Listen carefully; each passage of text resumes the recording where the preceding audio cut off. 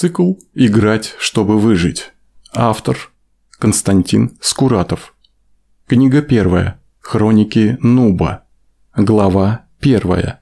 Думай, Нуб, думай. Часть вторая. Я снова стоял на той же поляне в той же позе. Перед глазами светилась пауза. И на том спасибо. Хоть дыхание перевести, да с духом собраться. Вновь появилась бегущая строка. В этот раз было намного лучше. Может усилить стимуляцию болевых рецепторов еще на 25%. Не вздумай, я тогда от первого же ранения сдохну. Есть такая штука, болевой шок называется. Понял. Предупреждение. Ваша супруга снова заглядывала в комнату. Да откуда ты это знаешь? Сканирование помещения, установленной веб-камерой. А, точно, я и забыл. Вы ей никогда и не пользовались. Вот и поговори с программой. А, кстати, ты можешь вместо этой дурацкой бегущей строки со мной разговаривать, как я, голосом? Понял. Включаю голосовое оповещение, и через секунду аж уши в трубочку свернулись. Голосовое оповещение включено. А потише нельзя, раз это в 10. Понял. Громкость снижена на 20% от максимальной. Предупреждение. Действие паузы ограничено. Да в курсе уже, блин. Ты вообще как считаешь, у меня есть шансы? Мне явно не показалось, что в ответе прозвучал сарказм. «Не могу высчитать. Это же вы существо с развитым ассоциативным мышлением, а я простой набор цифр». «Ах ты, гаденыш, реально издевается. Но не в моем положении сейчас строить из себя обиженного. Что такое компьютерная программа? Помощник, вот и пускай помогает искать выход из этой запредельной ситуации. Что я делаю неправильно?» Хренов помощник помолчал, произнес бесстрастно.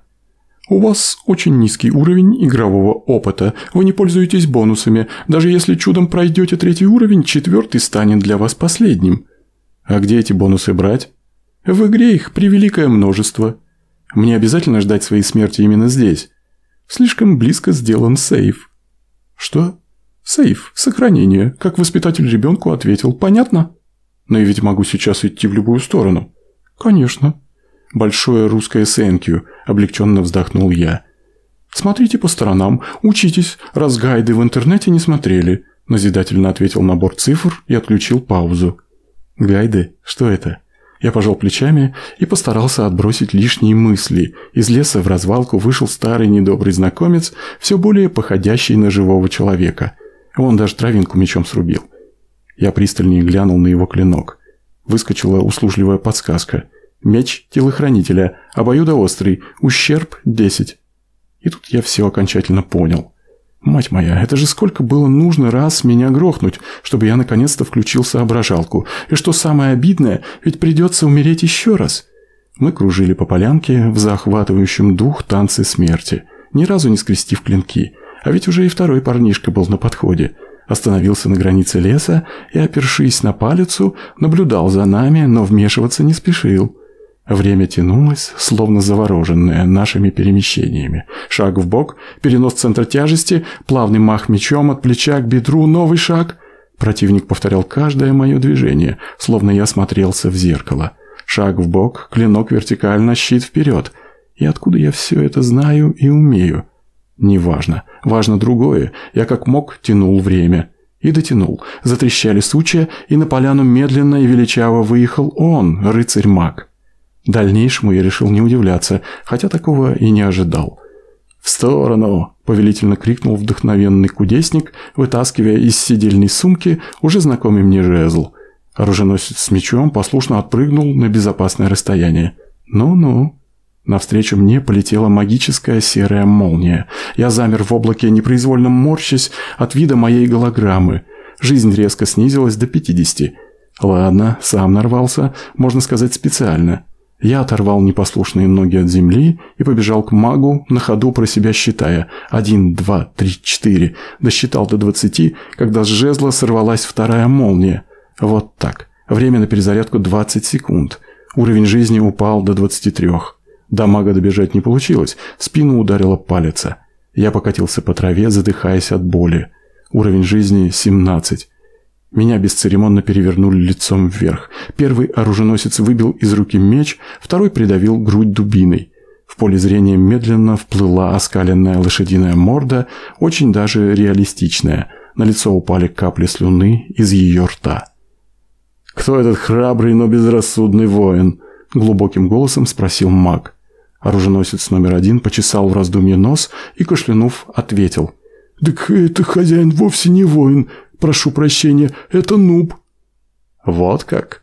Маг был явно благородных кровей. Нотки разочарования и презрения почти не пробились. Тогда не будем тратить время. Хороший нуб, мертвый нуб. «Дозвольте забить?» – деловито спросил номер второй. «Я сам. Он хоть и нуб, но держался хорошо. Окажу ему честь. Пусть умрет от руки воина». В поле зрения появился тонкий наконечник копья, выкрашенный в черный цвет. Тут же выскочила услужливая подсказка – Копье темного рыцаря, магически улучшенное, ущерб 40. Серьезная штуковина. Где-то на границе слышимости знакомый голос со вздохом констатировал. Пипец, блин. Точнее, не этими словами, а по-честному. Копье качнулось, а потом с хрустом вонзилось в левую часть моей груди. Нестерпимая боль пронизала тело. Колокольчик уровня жизни затренькал быстрее с счетчика радиации Гейгера в центре ядерного реактора. Тем не менее, в первый раз за все происхождение я умер, улыбаясь. Впервые за... Укоризненно начал выговаривать так ни разу и не помогший помощник, но я его перебил. «Все, снимай паузу». Голограмма мигнула и пропала. В ту же секунду я развернулся и бросился в лесную чащу подальше от роковой полянки. Ассоциативное мышление, человеческий разум, способный сразу выдавать ответ, не заморачиваясь на решении задачи – вот мое главное оружие, которое я до сих пор даже не пытался использовать. Блин, ведь цифровые человечки из долбанной игры и те учатся, а я чем хуже. От встречи с магом не уйти, это понятно. Но оттянуть-то я ее могу, приготовиться морально. Да не вопрос. Бонусы, ау, вы где? Я бежал лишь раздраженно поглядывая на стремительно уменьшающиеся цифры выносливости, не забывая про совет компьютера внимательно смотреть по сторонам за что и был вскоре вознагражден, обнаружив под кустом сундучок веселенькой расцветки. Раньше мимо таких я проходил, считая, что без ключей не открою, а сейчас остановился, потянул крышку. Вспыхнула подсказка. Лук перворожденного поражает любую легкобронированную цель, ущерб 30. Колчан со стрелами лежал тут же. Десять оперенных тростинок с массивными наконечниками из неизвестного мне металла. Ну что, гражданин маг, один-один? К старичку на вершине холма я поднялся без малейшей боязни. Ну, убьет. Разом больше, разом меньше, как в песне. Если вас ударят в глаз, вы сначала вскрикните. Раз ударят, два ударят, а потом привыкнете. Старик прервал свою медитацию, поднял на меня глаза цвета выгоревшего неба, без зрачков, между прочим, и нараспев сказал «Возьми меня за руку, светлый воин, я передам тебе часть своей мудрости». Счетчик силы быстро закрутился и остановился на цифре 30. Ого! Да я теперь ни одного старичка не пропущу. Как там в анекдоте про Гришу Раскольникова? Убил бабушку за такую мелочь. Так это одна старушка, два рубля с полтиной, а четыре старушки уже червонец, как-то так. На прощание дедуля порылся в тощем вещмешке и протянул мне кинжал. «Возьми, светлый воин, всего за сто золотых». И после долгой паузы просительно добавил «Ну и самоцветов добавь с десяток». Так вот зачем были нужны все эти ценности, что я с упорством и жадностью хомяка таскал до сих пор в своих карманах. Подсказка тут же сообщила, что кинжал магический, заговоренный, магия 10. Про ущерб ничего не говорилось. Я пожал плечами, но ножик выкупил. Авось сгодится.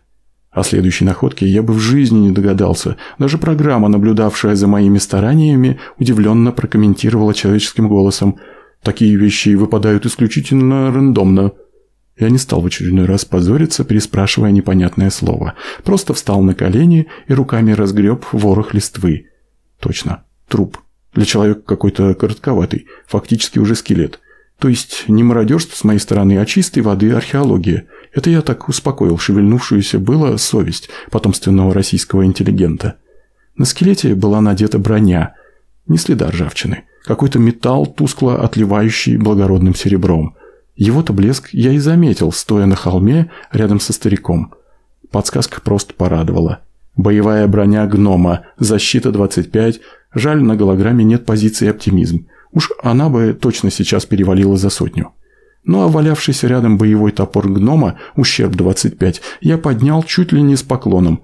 Жаль, так и не нашел подходящий шлем. И щит. Ничего, я и с этим хозяйством таких дров нарублю. Броня, на удивление, легко наделась поверх куртки. Я скосил зрение на голограмму и с нескрываемым удовлетворением прочитал. Жизнь 120, броня 32, сила 30, магия 10, выносливость 100. Любопытно. Выходит, что счетчик не проценты показывает?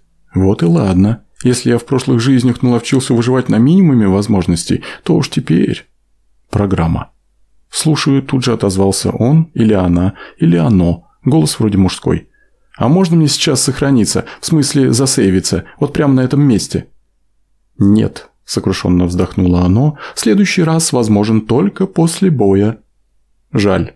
Я раздвинул ветви и замер. До боя тоже нужно дожить, ребята, и сделать это будет ой как непросто, потому что до забытого в горячке последних событий Серого Волка мне осталось сделать всего один шаг.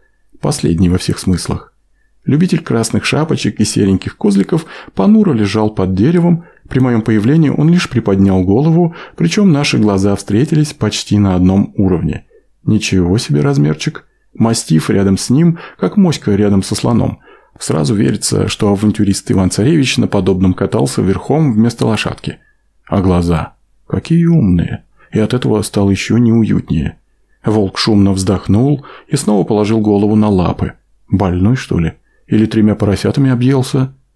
Я перевел дух. Поживу еще, наверное. И осмотрелся.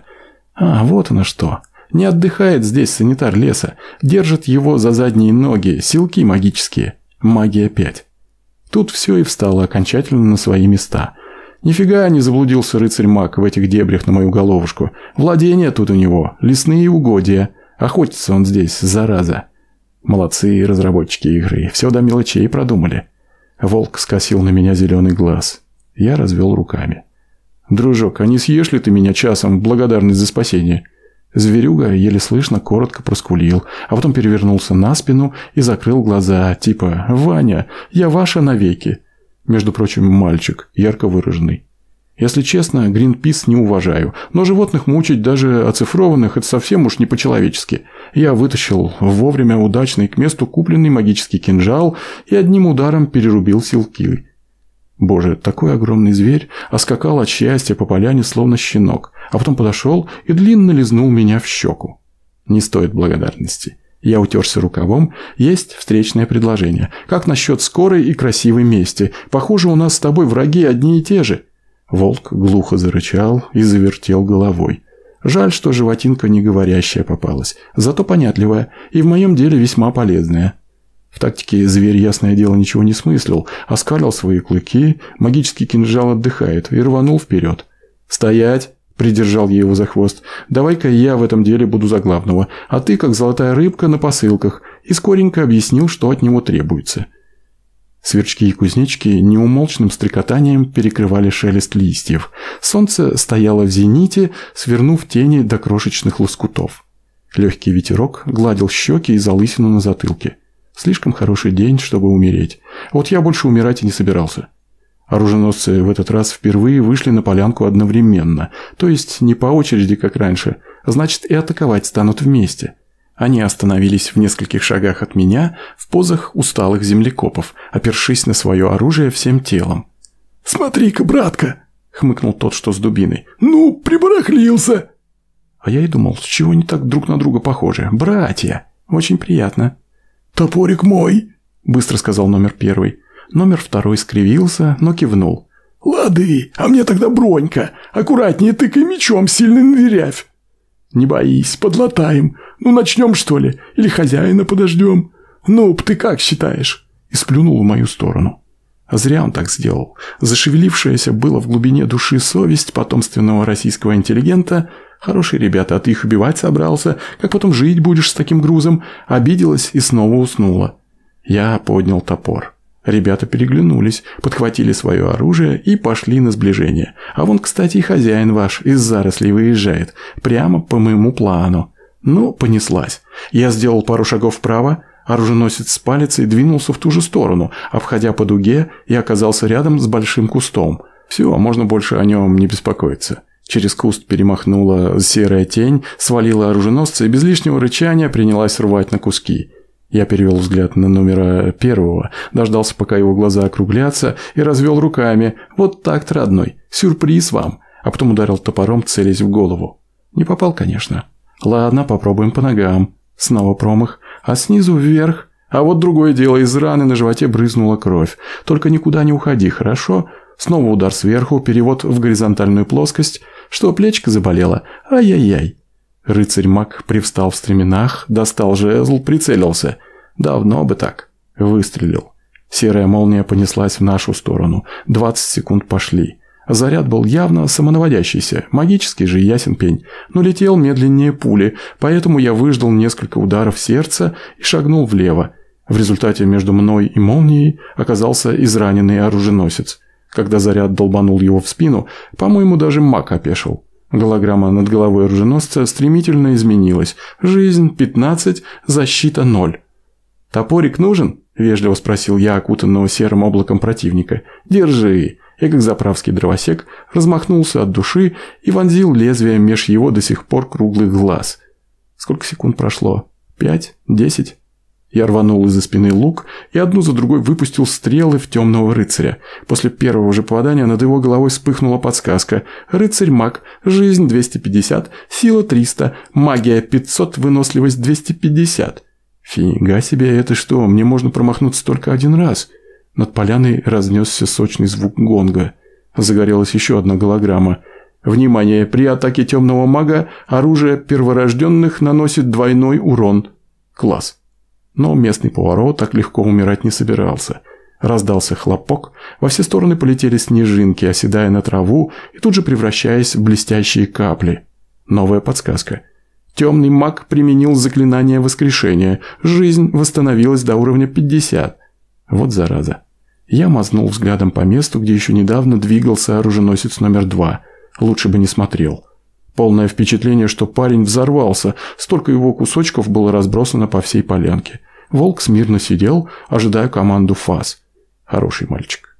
Новый хлопок со снегопадом. Подсказка бесстрастно сообщила, темный маг применил заклинание вызова гидры, ущерб 300. Земля между мной и магом вспучилась во все стороны, полезли змеиные головы на длинных толстых шеях, будто в кастрюле встали дыбом макароны. Ядрен батон. Все равно, что выставил против меня батарею тяжелых гаубиц. Я снова посмотрел на волка, кивнул. «Давай, серенький, принимай на себя». Мой ласковый и нежный зверь в два прыжка оказался рядом. Мда, зрелище не для слабонервных. Маг поднял жезл и выпустил еще одну молнию. Я бросился вперед на ходу, отсчитывая секунды. Молния ударила в грудь. Снова перехватило дыхание. Уровень жизни скатился к отметке 90. Все равно больше, чем у мага. Видимо, он тоже понял это, повернул коня, явно собираясь ускакать, а у меня, как назло, ни одной стрелы. Я сбрасывал с себя на бегу все, что мешало, высыпал из карманов золото и самоцветы, и вскоре остался в одной куртке со своим старым мечом в руке.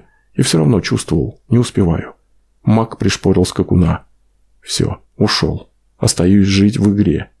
Мелькнула серая тень, в два прыжка настигла противника, выбила из седла – Придет серенький волчок и укусит за бочок. Замурлыкал я, не музыкально, переходя с бега на неспешный шаг. А что с гидрой? Оглянулся. Точно. Взрыв на макаронной фабрике. Интересно, какой уровень ущерба заложен в моем помощнике? Судя по быстроте и результатам, не меньше тысячи. Наверное, таких, как я, нубов волчара даже не кусает, а просто садится сверху и превращает в блин, а потом уже ест, как десерт. Мак поднялся с земли Метнулся было к лошади, но остановился. Дорогу преградил волк. «Это ты его освободил?» Как ни в чем не бывало, спросил рыцарь меня. «Жаль. Какой великолепный экземпляр я упустил. Настоящее украшение моего трофейного зала. Соседи бы умерли от зависти». «Ничего», – переводя дыхание, ответил я. «Пусть соседи поживут еще немного. О себе подумай лучше». Рыцарь смерил меня взглядом, полным снисходительного презрения. Что ты можешь, Ноб? Да, твоя псина – это серьезно, но по правилам нашей игры победить должен ты, лично, меня. За этим и пришел. Начнем? Рыцарь лениво потянулся, неторопливо вытащил из ножен длинный меч обоюдоострый, рыцарский заговоренный ущерб 30, и броня на нем целехонькая, пунктов на 50 потянет. Дешевле самому себе горло перерезать, чем с таким сражаться. Хоть бы топор из башки оруженосца догадался вытащить. Мы закружили вокруг невидимого центра, делая по очереди осторожные выпады. Первое время рыцарь еще косился на волка, но вскоре перестал обращать на него внимание. Кстати, и конь его мирно пасся рядом, ничуть хищника не пугаясь. Странно, подумал я, и тоже забыл обо всем, кроме боя. Выпад, блок, переход, выпад, блок, переход. Рыцарь попался грамотный, без дураков. Свою профессию знал на отлично. Выпад, блок, переход. Внутри медленно начала закипать злость. Что ты его за живого держишь? Нуб хренов. Это же программа, набор крестиков и ноликов, а ты вершина естественного отбора. Твой дед до Берлина дошел. Ты сам на водительские права с первого захода экзамены сдал. Думай, нуб, думай. Ломай стереотипы. И я решился. После очередного выпада я не стал делать защитный блок, вместо ожидаемого движения упал на колени и наотмашь рванул рыцаря по голени. А потом прикрылся мечом от удара левой рукой, выхватил чудом невыброшенный кинжал и воткнул по гарду в щель между пластинами брони на животе. Рыцарь замер, выронил меч, зажал руками рану. Я поднял глаза, голограмма над его головой сухо проинформировала. Жизнь двадцать, много еще. Я поднял меч противника, встал с колен, подумал и сказал фразу, достойную стать крылатой. «Пусть я нуб, зато ты труп». Длинное черненное лезвие тоненько свистнуло, рассекая воздух, на мгновение замерло, преодолевая сопротивление шейных позвонков, и полетело дальше, разворачивая меня по инерции спиной к противнику. Вновь над полянкой поплыл тягучий звук гонга. Голограмма заняла все поле зрения без остатка – Победа! Враг повержен! За славную победу над рыцарем 10 уровня вам начислено 12 тысяч очков. Ваш уровень силы вырос до 200. Ваш уровень жизни вырос до 200. За славную победу над магом 6 уровня ваш уровень магии вырос до 50. Вы захватили трофеи. Я медленно подошел к коню, мимоходом потрепав волка за загривок. Сказал в пространство. Устал я что-то, домой хочется. «Необходимо пройти игру до конца», – уважительно ответила голограмма. «Супруга больше не подходила?» «Нет». «Сколько у меня осталось времени?» «Реального?» – компаньон задумался. «Супруга заходит с периодичностью раз в полчаса. До следующего посещения примерно 20 минут. А в игровом времени это сколько?» «В игровом практически вечность». Я воспрянул духом. «Да? И что я должен еще сделать, чтобы пройти этот чертов уровень?» Всего лишь захватить замок убитого вами мага. Ничего сложного, только шесть претендентов на наследование. Всех убивать не обязательно. Я прошелся по полянке, собирая свое имущество, нахлобучил на голову шлем в виде короны, влез на коня и сказал волку на прощание. «Понимаю, твой дом здесь, поэтому с собой не зову. Спасибо, лохматый. Было очень приятно познакомиться. Прощай». Конь медленно пошел в сторону своей конюшни, следовательно, и моего в будущем замка. Я не стал его пришпоривать, ведь впереди меня ждала вечность.